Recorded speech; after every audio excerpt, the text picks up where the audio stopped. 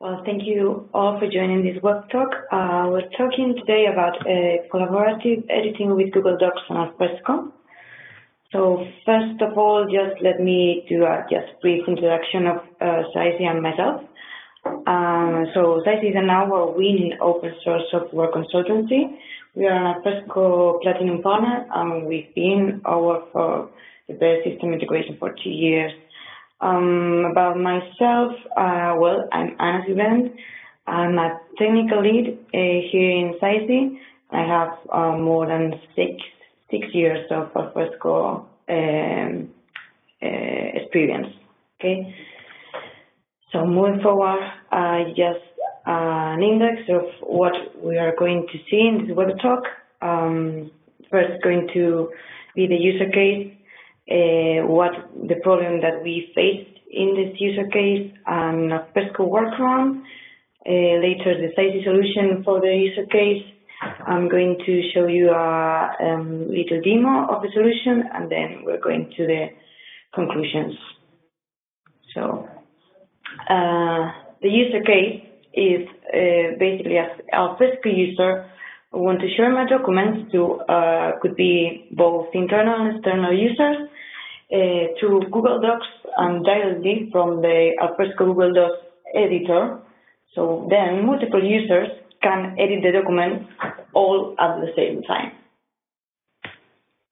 So what's the problem uh, we face uh, with this user case is basically with the current uh, Alfresco Google Docs integration, uh, only one user can edit the document at the same time.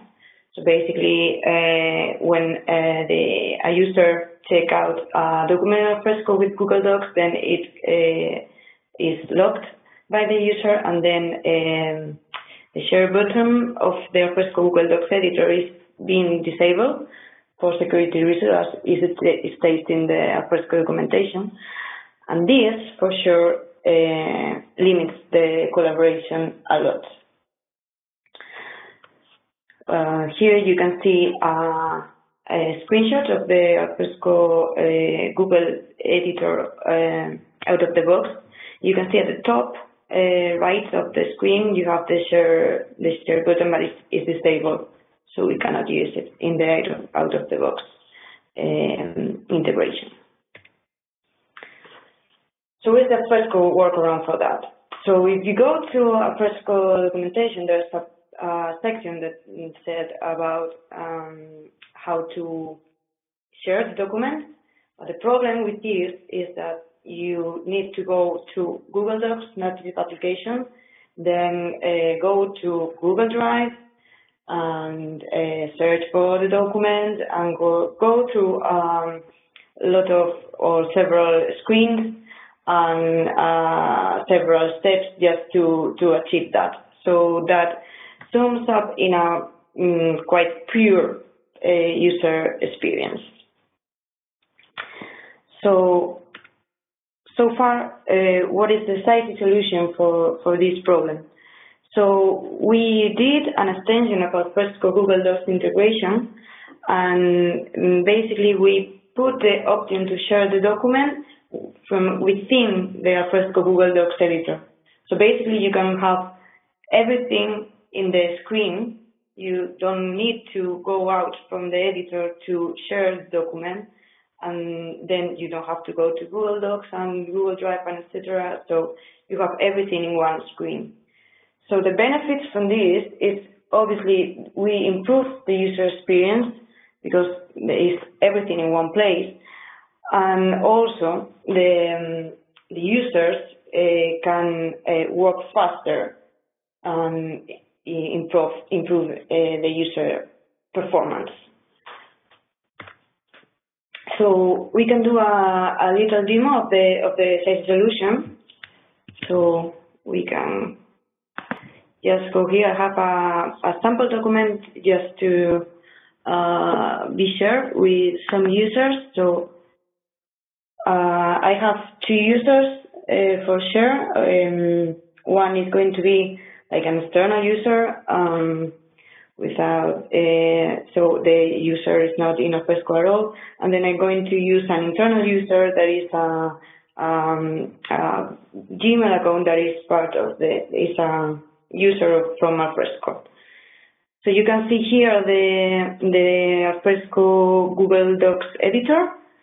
So basically, uh, here we have the share option uh, that we introduced to be able to share the document from within the editor. So we can just uh, click there and then we need to introduce the, the email. So for this, it's going to be um, the external user. I'm going to use going to share the document. Um, okay, and then we're going to share the document again to the internal user.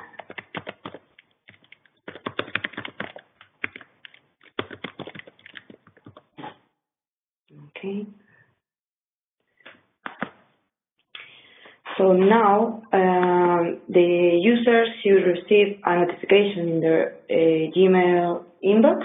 Okay, so if we go now, this is the external user. We have the invitation here.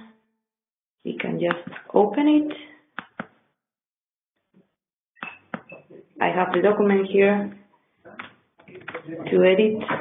And if I go to the other user,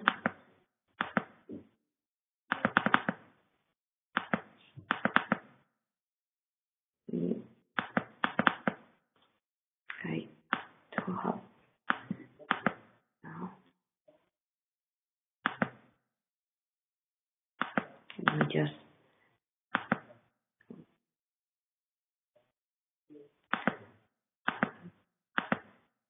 I'm going to, well, we have now the external user here. I think it's going to be a typo. Internal.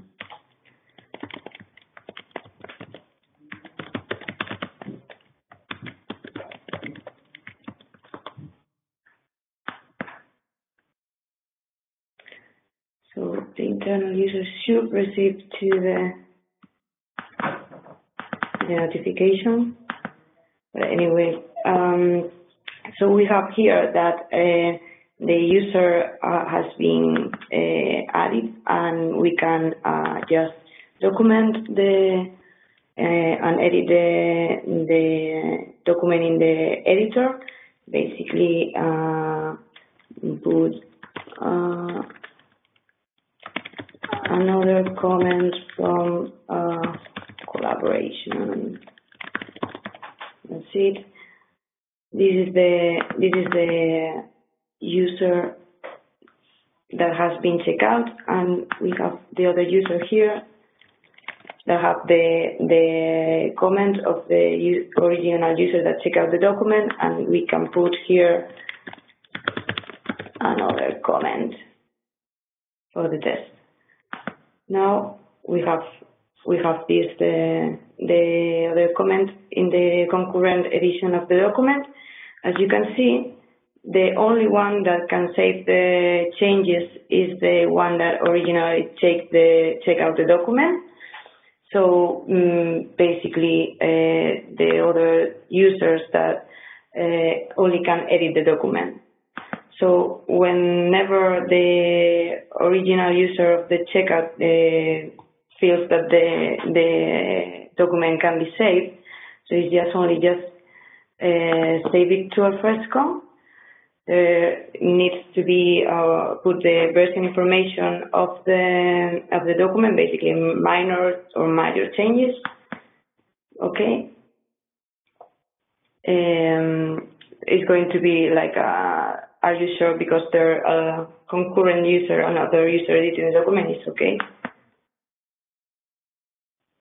And they're saving the, now if we just refresh this,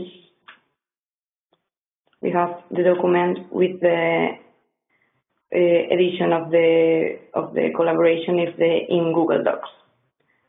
So going back to the presentation. We can jump uh, to the conclusion. So what is um, achieving uh, with these uh, solutions? So basically, we can have faster collaboration uh, because uh, obviously it's um, the edition of the document can be uh, done with multiple users at the same time. And then we can improve the end user experience with um, the share button all in inside the the web, uh, sorry, the um, editor of Google Docs integration. So thank thank you all for joining this workshop.